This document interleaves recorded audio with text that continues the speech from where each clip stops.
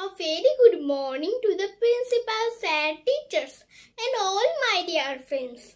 Today we all gathered here to celebrate the birthday of Matangini Hajra. My name is Brishti Shaha of class 3. I am standing in front of you to deliver a speech on Matangini Hajra.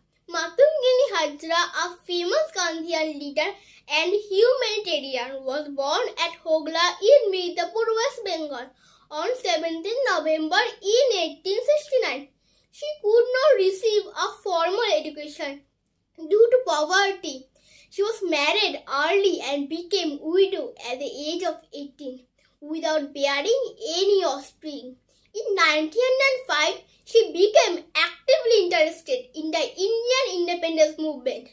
In 1932, she took part in the non-cooperation movement and was arrested for the breaking the Salt Act. After six months being released from jail, she became active member of Indian National Congress and took to spinning her own khadi. She worked among affected people when smallpox epidemic form broke out in the region. People lovingly called her Gandhi Buri. During the Quit India movement at the age of 72, she led the procession to attack to capture Thana, court and other government offices. She, as she was repeatedly shot by the police, she kept on chanting Bande Mataram. She fell down dead, holding the flag in her hand on 29 September in 1942.